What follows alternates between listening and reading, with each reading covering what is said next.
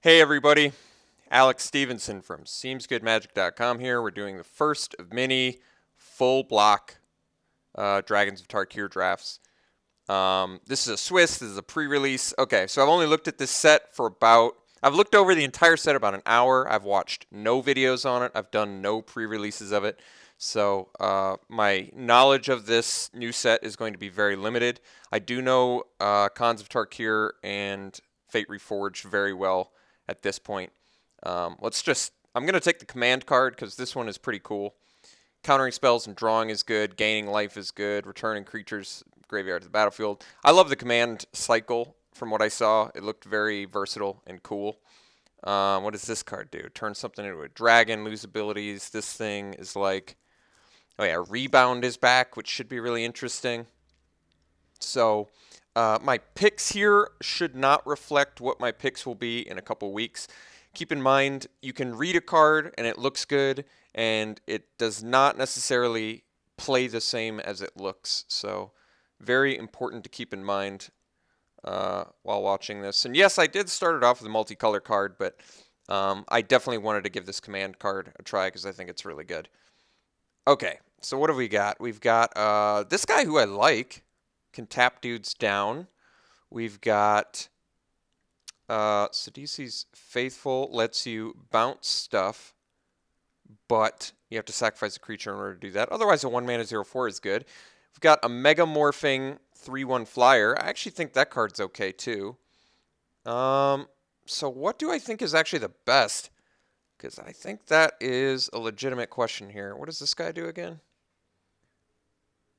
That's cool. First strike trample. I like the mashup. Um, let's think about this. I think it's got to be one of the blue or white cards to sort of pair with what we've started with. And I'm thinking the Dunecaster or the Flyer. The Flyer's a four drop. The Dunecaster's a one drop, which I kind of like. I'm going to speculate that I like this Dunecaster, but we'll find out. I've not played with it yet, but think tapping creatures down does restrict it to non-flyers, which could very easily be relevant. But for now, let's just take it over the four-drop flyer. Although the four-drop flyer may be better uh, because it's a four-power flyer if you pay the three to, you know, do it and then pay the megamorph cost, which I guess I didn't even check out what the megamorph cost was. I assumed it was like four or five or something. It was four hard cast, three one though, which isn't bad. But I, I don't know. We're going to see what I think of this Dunecaster.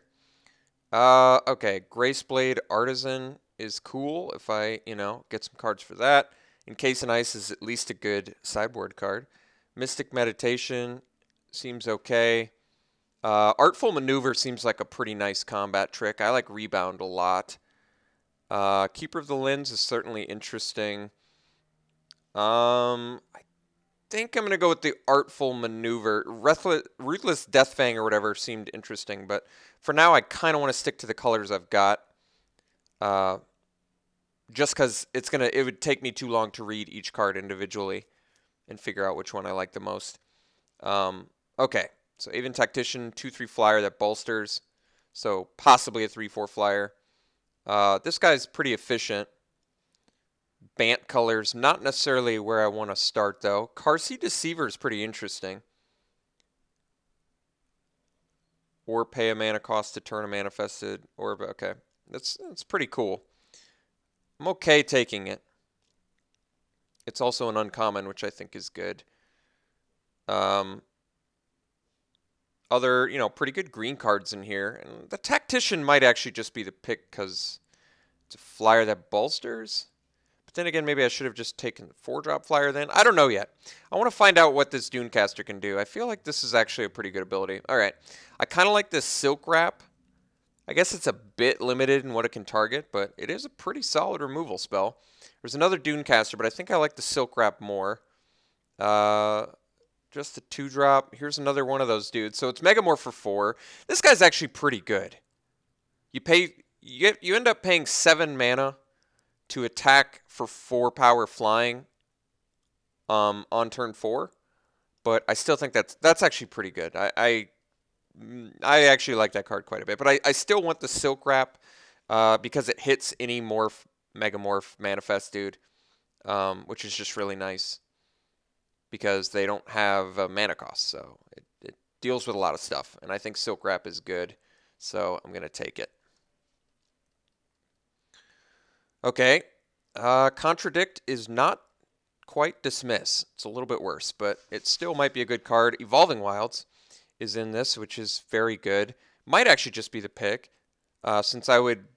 I don't have to be three color, but I usually like to try and be three color, uh, because that in once we get to the Khans of Tarkir pack, is where it. Wait a second, Khans is gone, so it's just double dragons with Fate Reforged. Is that how this is always going to be? Should I have known that? Maybe I should have known that, but apparently we're just drafting two dragons and a Fate Forge. It could be because this is a pre-release draft. Now I'm actually just unsure in general. Um, but I think there's nothing super exciting here, so I'm just going to take the Evolving Wilds and get a nice land fixer. Um, maybe I should have done some reading on this. That, that might have been a good idea. Uh, Updraft Elemental is a 1-4 flyer for 3. That's not bad, actually. Uh, what's this lose calm? Gain control target creature, untap it, it gains haste. You know what? I'm, I think I'm actually going to take this lose calm. Uh, the reason I want to take this is uh, now that exploit is in, I could end up, especially with another Dragons of Tarkir pack, uh, picking up one of those exploit bounce dudes, and then you gain control of a dude, pay another mana, sack it post combat, bounce something else. Could be good. I think it's slightly more exciting than a 1-4 flyer. Although a 1-4 flyer, like I said, is is definitely not bad. All right, Tormenting Voice. There's also Sandstorm Charger. So you end up getting a 4-5. It's it's kind of like a white version of the Glacial Stalker. I guess that's not bad. I think we want the Enduring Victory, though. That's a pretty nice removal spell. We'll take it. All right. So now we've got some some well, we're starting to near the the tabling cards that don't seem all that exciting. I think we're just going to take Contradict see how this card plays. Maybe we don't even end up playing it. Probably a decent chance we do not. Um, Sarkhan's trying, yeah, Search for Dragons, not exactly that exciting.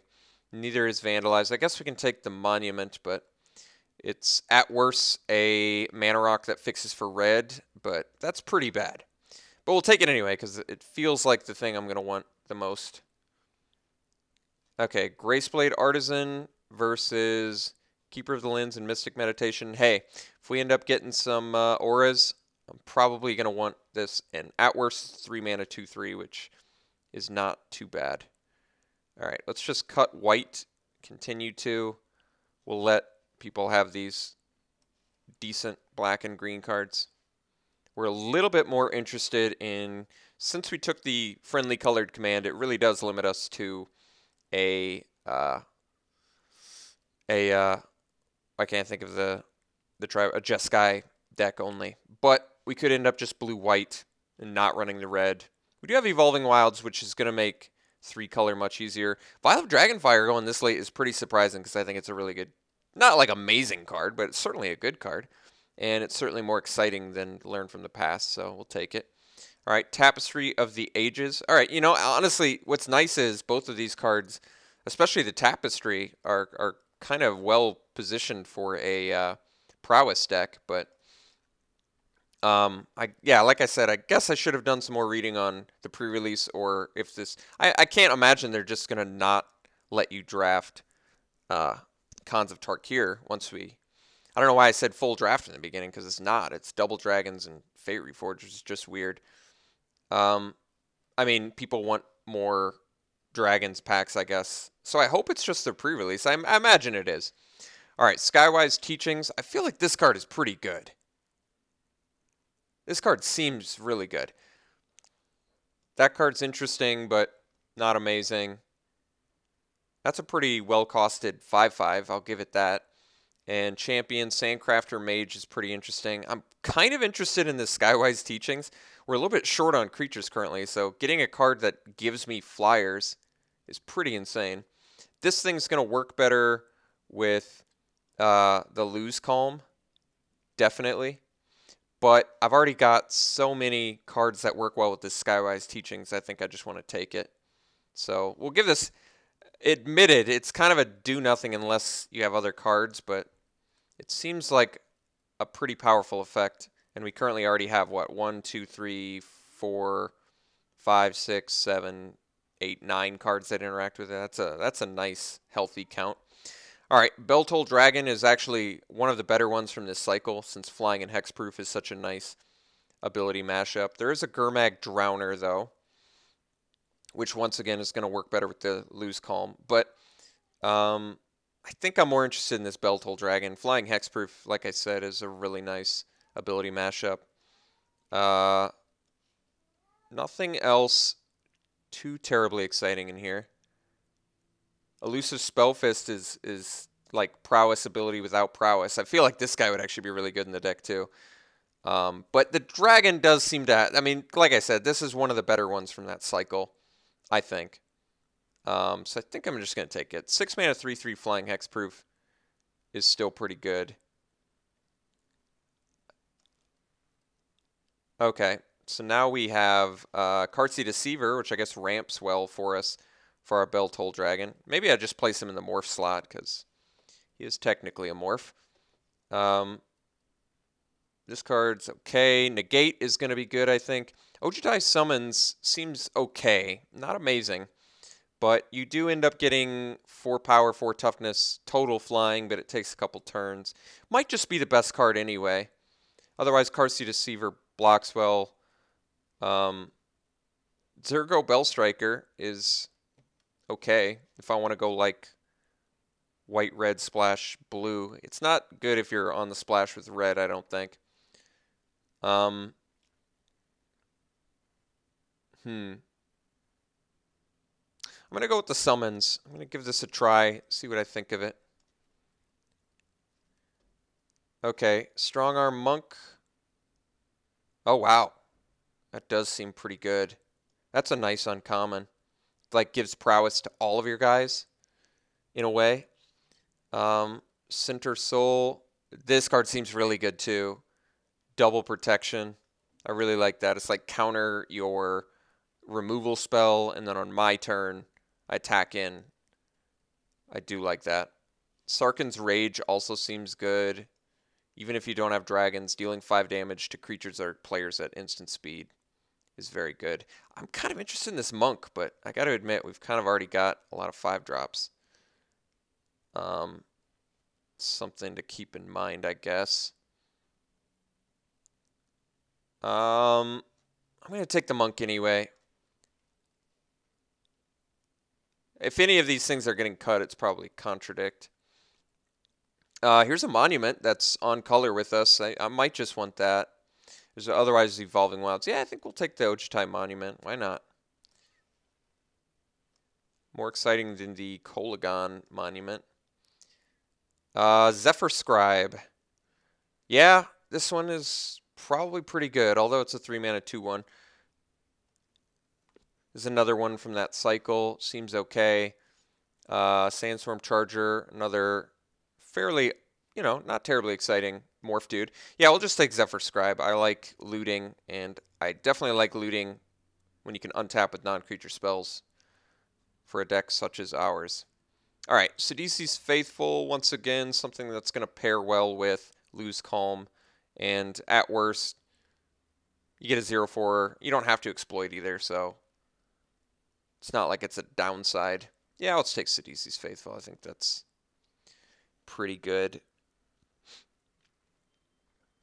Okay, so we're rocking like seven creatures, eight if you want to count teachings, nine if you want to count Ojutai summons, which is not a ton, admittedly. Uh, of Dragonfire number two still seems okay. It's a nice, it's a little bit clunky, I guess, but something to do early. Otherwise, I take the Herald of Dromoka, which is 2-2 Vigilance for 2, which is actually pretty good, too. And I guess we're short enough on creatures where I want some some early plays. I mean, Vial of Dragonfire is technically an early play too, though, and it combos better with our Skywise teachings. But mm, maybe, but nothing. I, I, I I'm gonna try it. I think I like the Vial of Dragonfire a little bit more. I don't know how good it is yet. I guess we got to play it to find out, but it seems okay to me. Um, I actually like this if I was playing something a little bit more aggressive. We did get the exploit guy back, and there's a champion of Arashin. Lifelink is nothing to scoff at, but I think I actually like this Drowner more. Uh, they're both four mana, and I think being able to exploit in a pinch could be nice. Um, Kindled Fury is something to do, I guess, but I think we're just going to take this uh, Herald now, get a solid little two-drop creature. Um, you know, this doesn't seem bad with the Vial of Dragonfires. I might actually play. Otherwise, we take Resupply, which is okay too, but not terribly exciting. Or we could just take Negate. Negate actually seems like a pretty legitimate spell, um, especially in our deck that's that's running Skywise Teachings and oh, um, Flyers and Strong Arm Monk and stuff like that. Uh, Defender. I don't like that this has Defender. Am I just going hog wild on these Vial of Dragonfires? Are they just terrible? I feel like they're not too bad, actually, but I guess we're going to find out. Um, another Contradict, sure. Still likely not playing it. Okay. And last pick Forest. Okay. So I don't know how many of these pre-releases I'm going to do if uh, if they're always I can't imagine they're always going to be double Dragon of Tarkir with Fate Reforged. I guess I got to look that up, but if that's the case then I guess I'll keep doing them, but that's not and then we open Ojutai. That's funny. That is really funny. Well, we got to take Ojutai. I mean, look at us. How could we not take Ojutai? Uh, we're already blue-white, and we have Ojutai's command, and we have Ojutai's monument. It was meant to be. Uh, otherwise, there's a Sandstep Outcast in here. And that's like the only other exciting card, maybe. So let's take the Ojutai. So that's our 23rd card, which means we're already we're already ready to possibly make some cuts. It looks like we may not be doing the red plan necessarily in this deck, but unless there's some good reason to. Otherwise, we've got a lot of incentive to just be blue-white because we don't have much in the fixing department besides the Evolving Wilds, and we just have some pretty good all-around cards in here. Let me see what a Wooded Foothills is worth. Keep in mind these are $15 drafts, which is kind of expensive. Well, they're only worth about two and a half, but um, I'm trying to think what else is pretty good in this pack. There's really not much else. Uh, I mean, there's an Abzan Sky Captain, which is a pretty legitimate card, but think I'm a little more tempted to just take this Wooded Foothills. I guess Barricade's okay too. Enhanced awareness, a little bit of card draw. I'm just going to take the foothills. I'm going to take some tickets.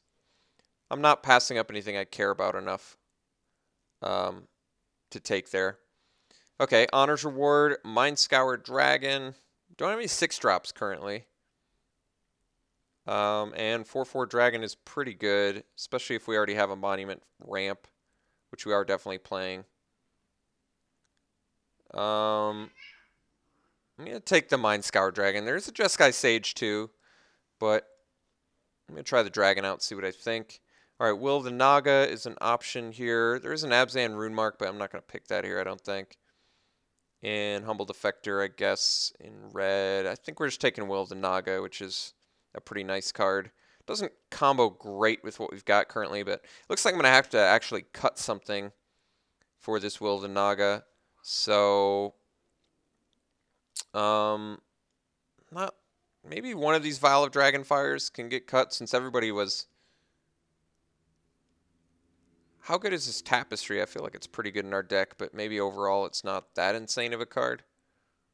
I mean, it's a do nothing right away, and then it's a do nothing until you cast non-creature spells. Like at least with the other do nothing card I'm running in this deck, Skywise Teachings, I'm netting creatures out of it rather than just drawing a card. Not that drawing a card's bad, it's just I don't know. Possibly not good enough. Like I would rather get a 2-2 flyer, I think, than draw a card off of my non-creature spells. I think that's really what it boils down to. Am I just going to go for all the colorless removal? Possibly. No, I think we might actually want the Sky Captain here. I like Sky Captain. Jeskai Rune Mark, though. Uh, how many white permanents do I have? One, two, three, four, five, six, seven total. It's not a ton, but Jeskai Rune Mark is very much arguably the best of the rune marks. I would say quite a bit of confidence, actually. I think rune mark's the best. of that, but guess we're still a little bit creature light, so I can take the Sky Captain. It's just another flyer. My, my cats are freaking out. Holy crap, one sec. God, can you guys hear my cats just like freaking out on each other in the background? It's insane. All right, I'm taking Tranquil Cove here very easily.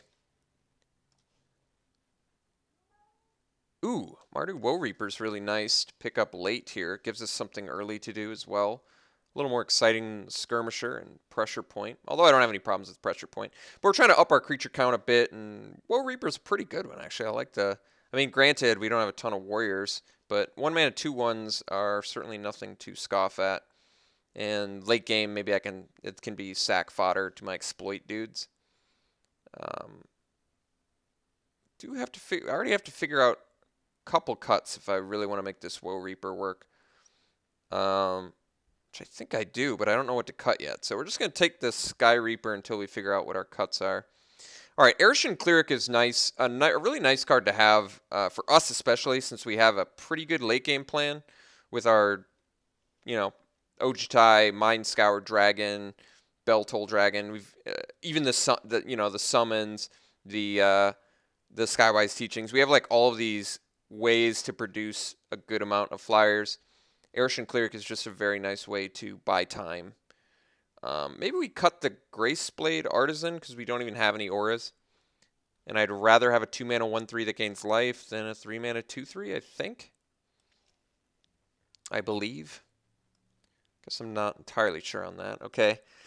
So Refocus is a card I could technically play, but I just don't think it's going to make the deck. So I think we just cut the best card, which is probably the Hunt the Weak. Okay, so nothing I'm terribly excited about here. I could take the Barricade. I guess it's got decent synergies with Enter the Battlefield creatures, which is pretty much just Arashin Cleric, I guess, or Woe Reaper. Or our exploit guys, maybe. Okay. Because I guess it has synergies with our exploit guys. I'll, I'll consider it a sideboard option. Um, wow, it's a late Fixer. I guess that would bring us into lose calm territory, but I don't think this deck needs it. We're doing pretty good on the blue-white front. So I could just take a Skirmisher, which flies, but it's pretty unexciting. I think I'm just going to hate the Windscarred Crag, my opponent's mana base, maybe. Uh, Great Horn Krushok. feel like we already kind of have enough late game. Don't really need the Rune Mark. Don't really need any of this, I guess. Um, take the disdain, possibly sideboard it, maybe. Uh, Goblin Boomkeg is actually not a terrible card. It's just not great either. Um, I think I might actually just hate the Mastodon. I'm not sure I need any of that other stuff. All right, we'll take it on color rune mark. Then I'm likely not going to play. Okay, so we ended up with just like a blue-white skies deck, which is fine by me. We have to make a couple cuts. Um, yeah, so I think the deck's okay. I certainly don't think we ended up with a bad deck. We have 15 creatures if you count Ojutai Summons and Skywise Teachings, which I will. Um, problem with Skywise Teachings being counted as a creature is it requires your non-creature spells in order to really uh, function. So let's do a count here. We've got 3, 6, 7, 8, 9, 10, 11. Um, I mean, 12 including itself, but 11 other ones is actually a really good count. Um, we're going to go 17 lands despite having a 7 or a 7 drop because we're 2 color and we're not super, just not super color intensive or 2 mana heavy either, especially with these vials. I want to try these vials out. These aren't that bad, are they? How is this bad? I don't get it. I mean, it only deals two damage, but that kills Morph, Megamorph, and Manifest creatures. So, in colorless form, I don't know. It seems like a good card to me, but maybe I am incorrect. I guess we shall find out, huh? Um, okay, so what is it? I guess you could technically count Monument as a creature too. So maybe we just cut the worst creatures we've got, which is...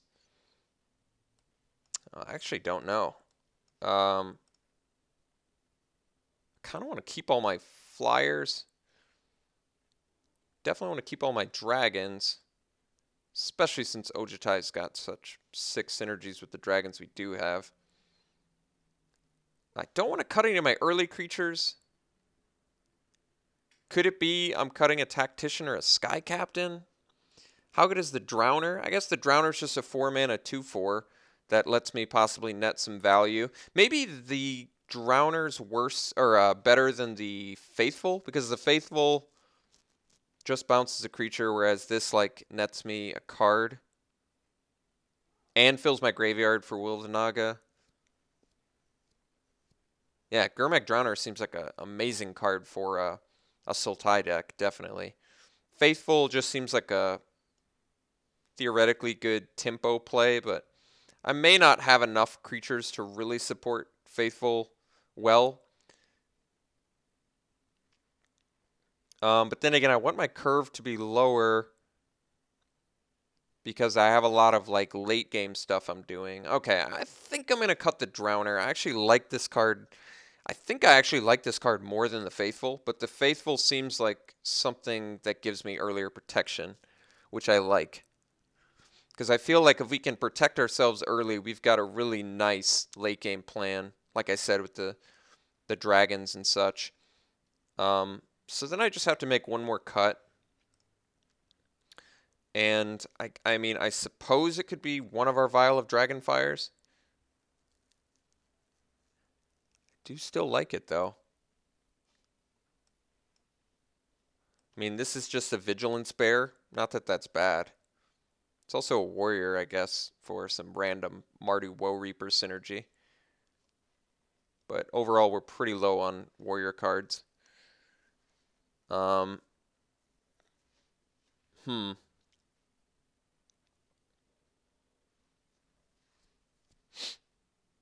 One more cut, you say. Yeah, I definitely want to run 17 lands. I don't want to cut negate either. I feel like this card's really good. Negate is good. We already have a couple counter spells too, which is nice. I like having outs for any creature or any non-creature spell. It's kind of convenient, actually. And I got to remember, having command in your hand is probably pretty confusing because there's so many modes. You got to remember the there's probably a few opportunities to really get some good use out of it, you know? Um, how many, wait, how many creature cards can we make cost two or less do we have? We have five. That's not bad, actually. It's a decent chance we get that mode online. Otherwise, counter draw or counter gain life or draw gain life. Those are pretty good uh, uses of those modes, I think. All right, I got to make one more cut. It's 14 creatures counting teachings and summons. I guess I could cut a Vial of Dragonfire. I could also cut Artful Maneuver. I kind of wanted to try this card out, though. Okay, because I want to try it out, I'm going to cut the Vial of Dragonfire, one of them. All right, so overall, it's very difficult to evaluate this deck because it's got just a bunch of brand spanking new cards that I don't know exactly what they do yet or how good they are. Um, let's bring in our Cove. Let's bring in our Evolving Wilds. I'm okay running Evolving Wilds in a two-color deck, I think. That still still makes our mana better. So uh, I think we got to err towards... Well, we need more double blue, but we don't need double blue till later. Um, Maybe we just do err towards blue anyway. They want to err towards white. So what is this? 10 sources of white, 9 sources of blue. That's probably pretty adequate. I mean, I really don't need blue super early. I think I'm going to err towards white just because we have slightly more white cards and our white plays are relatively early. Yeah. Okay. Uh, tough to say how much how how good this deck is out of 10. Um, I want to say it's like I honestly have no idea. It's just too early to to adequately know how good this deck is. I don't even know how much the the format sped up or slowed down. I've heard uh, that it's sped up quite a bit, so I guess we'll find out. Um, yeah, so pre-release draft, Double Dragons with uh, Fate Reforged. Is that how the entire format's going to be? I don't know. I'll check in uh, any downtime I get and we'll find out. But uh, all right, we'll see you round one.